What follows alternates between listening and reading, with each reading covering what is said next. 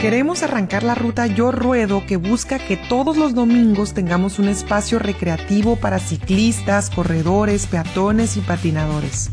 Este proyecto que inició Marina del Pilar tuvo que suspenderse por la pandemia. Sin embargo, estamos convencidas de que en unos meses más lograremos que nuestras familias y animalitos disfruten de este espacio.